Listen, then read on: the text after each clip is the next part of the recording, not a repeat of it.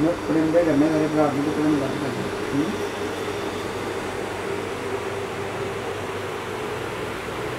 Thank